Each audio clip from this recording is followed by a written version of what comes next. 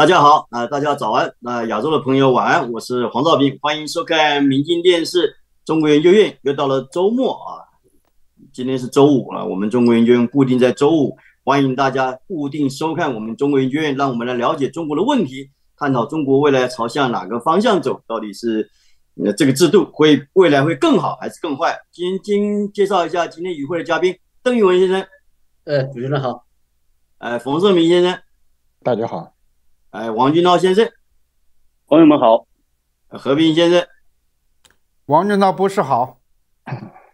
你为什么老是一定要强调博士我一视同仁？你为什么要特别突出啊？啊，我觉得博士是令人尊敬的一个称呼，所以我必须要强调这一点。嗯比如说我们办公室的李琦博士，我一定会叫李琦博士，而不会叫李琦女士。OK，好，这这个我们尊重学士啊，尊重博士学位。OK，我还谢谢四位嘉宾参与我们今天的讨论了。我们中国研究院，呃，十月十六号，呃，二十大马上要紧接着登场啊，这个是非常非常重要，攸关未来五年中国人事跟政策。呃，习近平连任，但第一个题目我们提到一下，当然我们谈到习近平，总是想到一下最近江泽民。有些人恍然大悟，江泽民已经九十六岁了啊，他八月份刚过九十六岁生日。但是最近网络上疯传了很多江泽民生日那天，这个习近平跟李克强给他祝贺的一些花篮。我们来谈谈，到底江泽民怎么样看待习近平现在在二十大之后还要再连任？已经本来应该换届下班了，但是他不愿意走啊，到站下班不走。这个邓宇文，你怎么样来看待在网络上传的这个这个照片呢、因为这个生日照片其实是蛮普通的啊，但是我们是不是可以从生日照片里面，或者网络在疯传这个照片，约略可以看得出来，到底我们大陆百姓或是大陆民众怎么样看待江泽民跟习近平？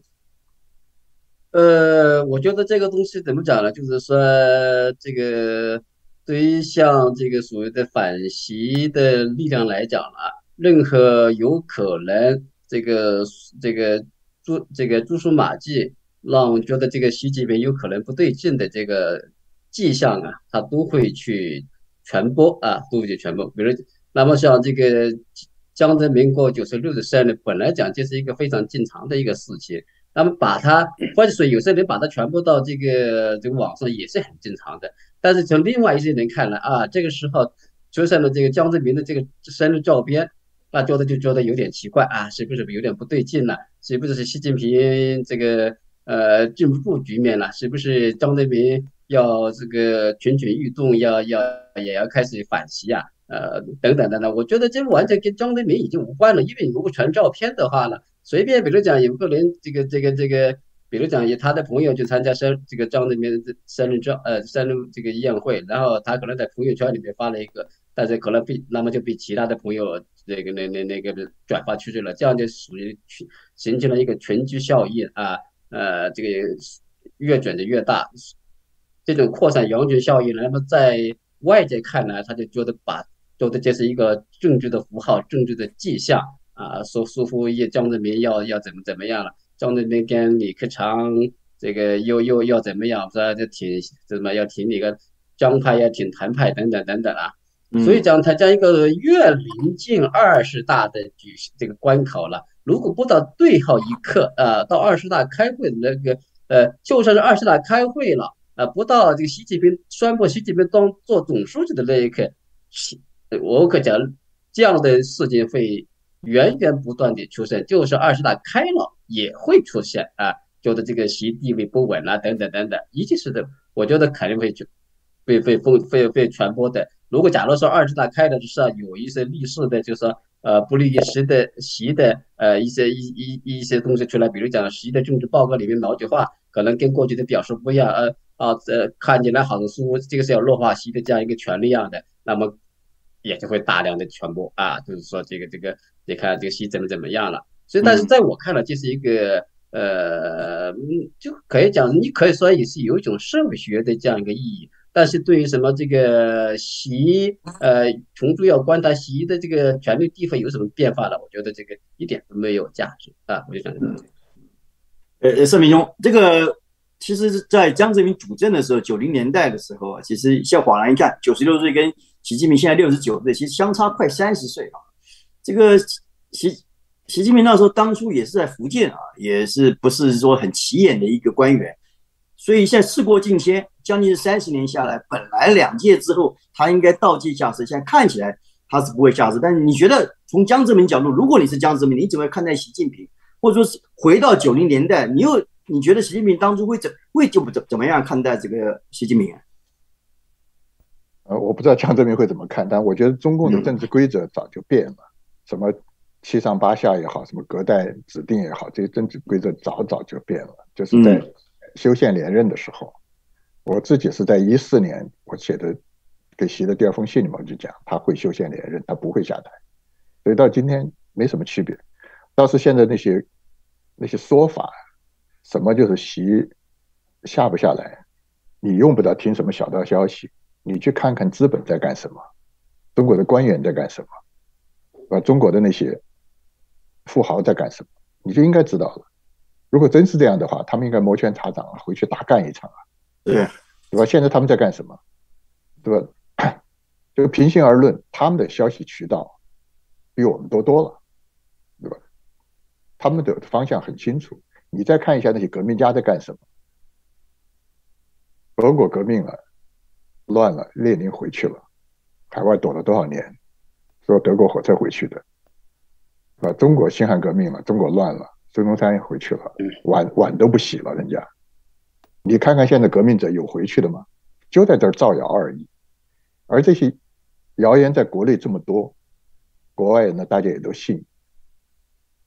造谣的人本身，我相信不信，很多呢跟着跑的人信。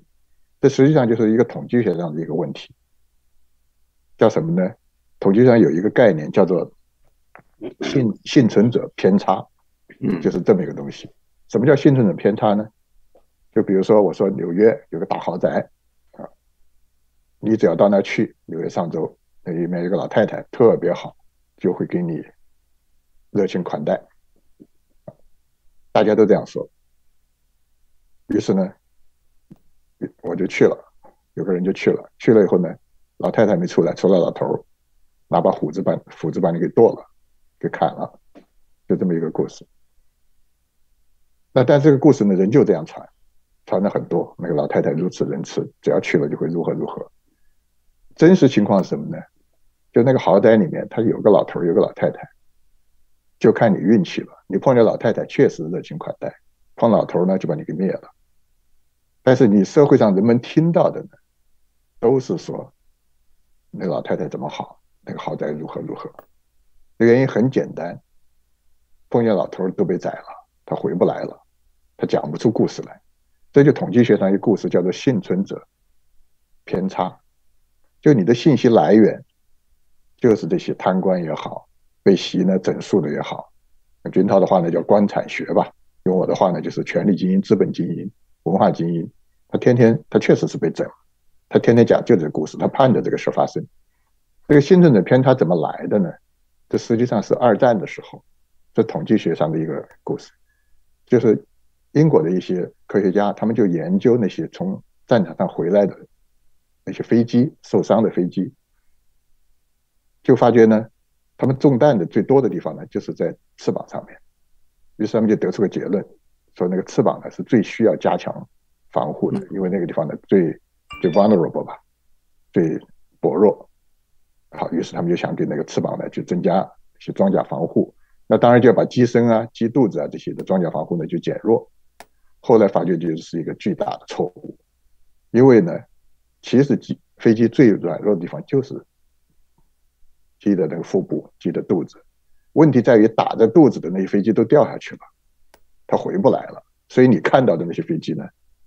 回来的都是机翼上面受伤的，这就叫统计者偏差。我们今天干的很多事儿，就是我们听到那些故事，就是你这个信息来源不对称，就是你接触的人都是这批人，互相之间呢抱在一块取暖，对吧？就是听自己的回音壮胆，就越说越真，就真到了，就像了，现在连美国的媒体也在那说了，好像成为成为一个共识了，就这么回事其实说到底，谣言就是谣言。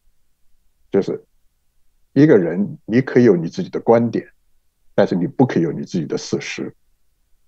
习上还是下，我想十天之内吧，嗯，人们就看得到。至于说看到以后还不认账的人，就没有必要再去跟他争了，对不对？他就什么他都不会相信的。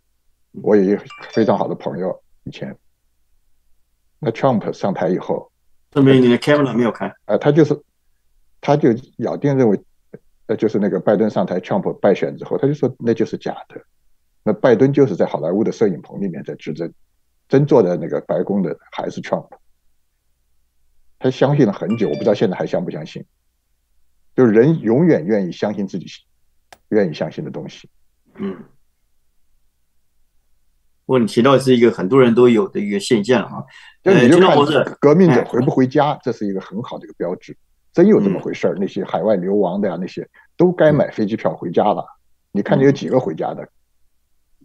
除了编故事以外，除了期待以外，没其他的动作。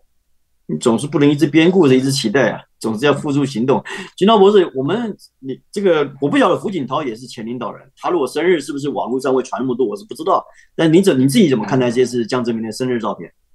哦，不对了，前一段时间传说兵变时候，可是胡锦涛是核心人物啊，这个你知道哈？对，你先别提他，别提他，对啊，连这样的就是扶不上墙那个阿斗烂泥巴，对吧？不是，我不是说胡锦涛不好，我说他没有任何权力斗争的欲望，他也没有权，他真的说这个像日本人当时问他，小孩问他说，呃，问他为什么要当总理，他说小朋友啊，我不想当总理，但是中国人民信啥？就不是中国人民信的，是邓小平和当时的那个。制度当时选择了他，其实他真的是不想干。江泽民不一样，我们都知道江泽民是喜欢好大喜功，其实，在很多方面他跟习近平相似，但是他喜欢美国，他确实了解人类文明的一些规律。当然，在那时候中国没像没按这个方式那么强大。如果今天他怎么想？不过我觉得，如果刚才你讲到了习那个江泽民对习近平，我觉得江泽民不会喜欢习近平，就是因为呢，习近平很多做法是违背了他认为他把中国引向成功的这个路。现在。齐名，但另一方面呢，到今天这个时候，我觉得江泽民也认命。江泽民不是一个那种到关键时刻他敢于就是应付狭路相逢勇者胜的人，他不是这种人。所以说他现在认个命。那我知道的消息就是说，他俩其实江泽民呢过自己的日子，包括江家的事儿呢，现在习不管，还不像别的家族，别的家族你还得把你就是吃的东西吐出来，习就放你们。但是江基本上现在习不管他，让他的在家里人也低点调就完了。但是。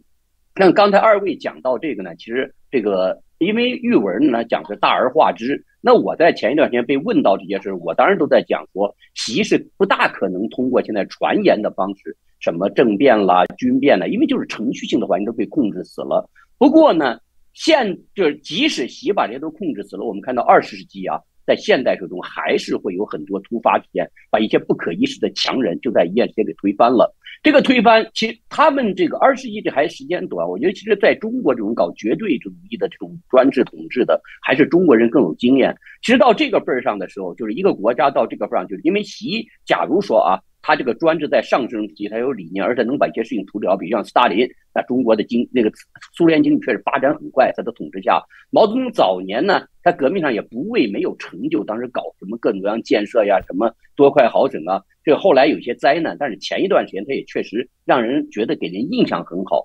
不过习现在的做法，如果按照我们中国封建王朝末世来看，他很多事情做得非常失败，外交啊、经济啊，我们不是说按照这个老百姓。这个一般的屁民屌丝，我们讲官产学三界这些精英啊，他们的印象中间，他们认为成败标准上习做的很糟糕，而且这个糟糕，他们做了很多道德的杜撰。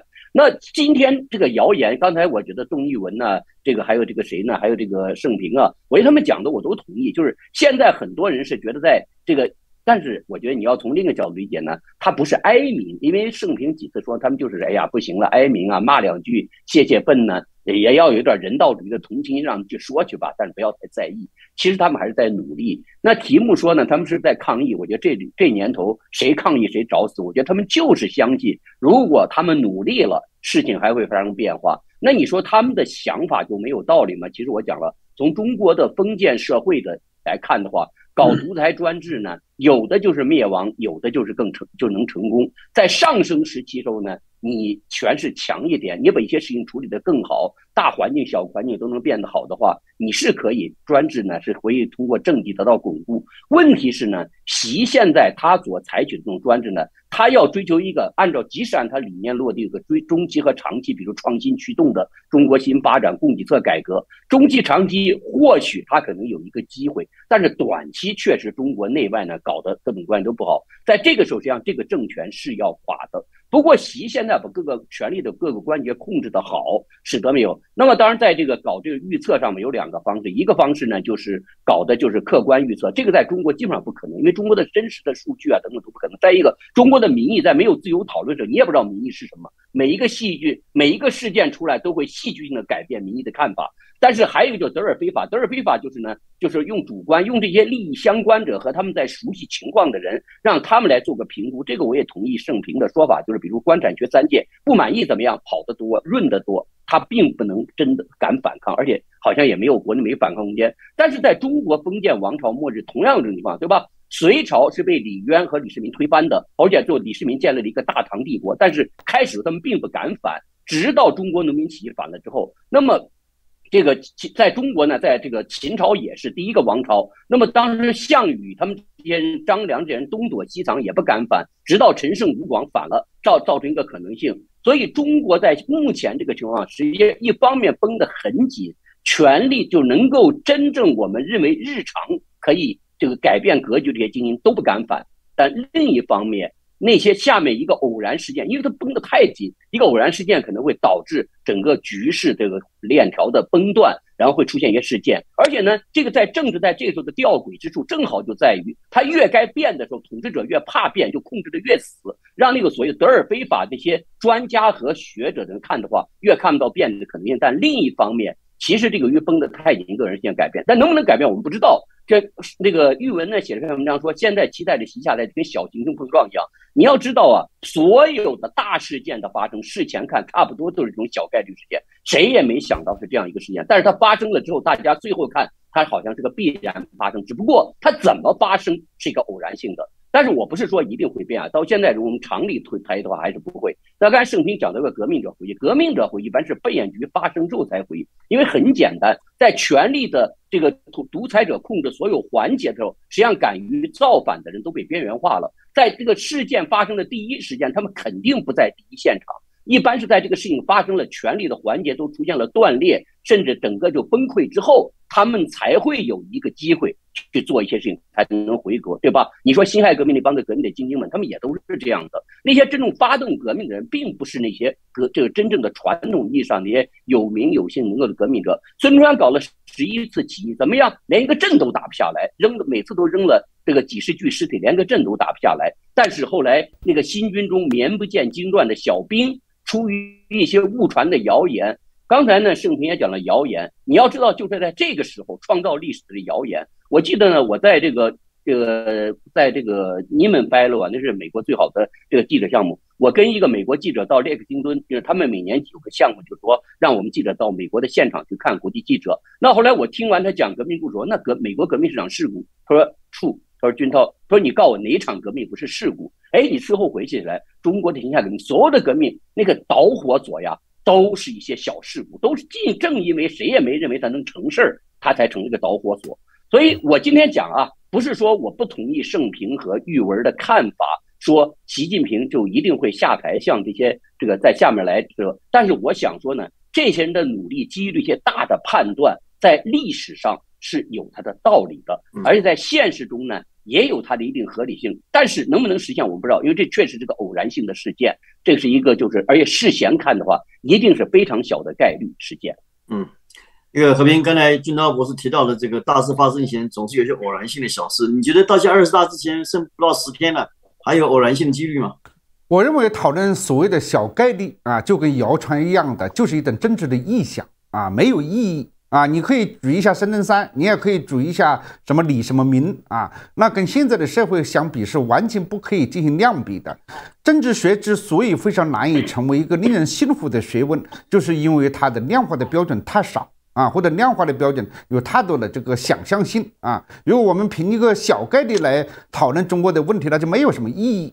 中国现在的问题就是江，首先我们就是讨论这个江泽民的生日的照片啊。那么有人说是假的，有人说是真的。其实真的和假的都不重要啊，江泽民不管是支持习近平还是反对习近平啊，我们也不能真实的了解情况。如果假如按照我了解的情况来看，江泽民没有任何道理去反对啊这个习近平，甚至说啊我用习近平用呃用错了，我后悔了，这都是一些主观的想象。因为习近平上台之后做了太多的事情，伤害了太多的利益的团体，伤害了太多的。这个知识的精英啊，那么各方面对他的批评和反应，有的有的是有道理的，有的也是没有道理的。不管有道理和没道理，现在反习是在精英阶层里面的啊一个一个很明显的一个反应。但是这种反应呢，就是一呃，就是说从人群的角度，或者是在法治的角度，从文明进步的角度，我也不是说这个东西完全没有道理。但是只是从整体，他们看待中国问题的方式，跟这个几年以前的美国的政治产生变化的时候，人们对这个当时的美国的政治的这种分析一样的，反映了曾经在中国具有很有影响力的一批人，已经不但呢。啊，这个丧失了对中国问题的判断啊，那么之前也是因为他们对美国的情况进行了啊这个判断，但他们在海外这么一个自由空间，仍然是有发言的机会，不像在中国被控制。但是这些发言的机会呢，被他们浪费了。他们不是说非常严厉的去批评习近平二三四五你错了什么地方，而是用谣言的方式和臆想的方式来去判断这个中国的未来。但是我觉得对于。中国来讲，这都没有意义啊，没有意义。摇你，你以为能够今天能够摇换中国吗？你以为一想小概率它就会等待到小行星撞地球吗？都不会发生。真实的情况就是，习近平对中国的控制是前所未有的。这种控制要把中国大到什么程度？如果你说小概率，要应该想看一看习近平的身体好还是不好，这是中中国变数的一个最大的因素。那么你真正要分析起来，就是习近平哪一些事情是跟文明基本的价值是相冲突的？哪一些事情是在国家的转型过程中间它必要所为？那么另外一个就是中国在过去三十年，它的各种可以确定的一些数据显示出来，中国是退步了还是进步了？中国的老百姓的生活是改善了还是没有改善？今天的中国的年轻人是不是愿意上街，像一九八九年那些勇敢的年轻人一样的去上街去抗议这个政府？啊，即算是他们现在的就业出现了很多的问题，生活出现了很多的困难，他们愿不愿意要求要民主、要自由和要人权？那么有一些的讲话，三十年以前我们听一听，确实还是一种希望。三十年之后，我们看到了中国的发展、中国的进步、中国的问题、中国现在的障碍，我们更看到了三十年来无数的国家在转型过程中间所谓的苏苏联东欧的崩溃，所谓的这个橙色革命，所谓的各种各样的颜色革命，几个国家现在还敢谈呀？你可以去谈埃及吗？你可以去谈托尼啊托尼斯吗？这不是说这些国家不应该往民主方向走。而是说，一个专制的国家，一个落后的国家，一个贫困的国家，他们要转型的时候，比我们想象要艰难很多啊！所以今天还是用三十年前的标准再来讨论中国的问题，何况这个西方的民主现在出现了巨大的问题，不是一般的问题。连美国的总统都怀疑啊和批评美国的民主处于一个危险的阶段。所以在这种情况之下，再用三十年的这种价值和知识来去分析今天的政治，那我们。几十天之后啊，也许十十几天吧，十几天之后，二十天，大家就可以看到结果。通过这种结果啊，有多大程度上会印证有一些人的观点是正确和错误？有没有可能作为修正呢？我认为机会非常小啊。一个时代就是一个时代的人物，有些人曾经扮演了领导者的角色，但是他不是一辈子的领导者的角色，因为俄这个美国的这这样一次政治纷争已经显示出来了，他们确确实实。已经没办法了解美国的政治，那么今天中国产生的变化，他们已经没办法去接受基本的事实，所以才产生了这样一种臆想。你可以说是很悲哀的，但是这是没有办法。就像美国的石油工业出来会把煤炭工业摧毁一样的，它就是一代一代的这种叫迭代啊。所以我觉得这个是二十大之前，你可以作为一个笑话，作为一个玩具啊，作为一个游戏来讲一讲，我们作为一个话题。但事实上啊，这个江泽民支不支持已经不重要了。不管是何林刚才提到的这个笑话、玩具了，或是游戏，或者谣谣言了，反正这不重要。二十大马上揭晓。不过，陈如刚才何斌提到了，二十大是习近平这个呃，等一下，这个你要你要补充一下，OK，给你一分钟，好吧？OK，好。对。按按你知道对，你知道这个和平在这之前说要期望我火爆一把，我今天轻轻拍拍的。我教你王王王江不是这个。也说了，江泽民喜欢不喜欢你不知道，但是你听我说呀，不是你说江泽民喜欢不喜欢，但你也讲了，其实今天的官产学三界就是江派，对吧？江派和吴派，其实这些人你说不喜欢他们，其实就是代表江也不喜欢他们。我们想都能想到，你不要回避这个问题。现在下一步再一个呢，你也不要说这个政治博弈在继续。这个政治博弈呢，在二世纪政治史上，你不要说传统的二世纪政治上从来就没有独裁者完全说了算的时候。独裁者最后总要对现实做妥协，他不妥协就要被推翻。而且你讲的这些关于各种各样的专业评论，现在反江的人就是在进行这种评论。你看看他们比江讲道理的，江登就是一个什么四个意识、两个维护、两个确立，他狗屁他一点道理都不讲。而那些人举出大量的数据、大量的古往今来的道理、大量的科学，还有一个。政治科学，现在几乎所有的美国的政治系，除了两个这个学校之外，都叫政治科学系。他们全是用科学方法，用模型，用这些在计算。你可千万别说政治学不是科学。好，这样啊。呃，我我补充一下，我补充一下，这个军刀喜欢谈小概率事件啊，谈这个谣言的这样一个作用。嗯，这是不，我我你你你别你我我我啊，我普通，不不，你比如说你想想我。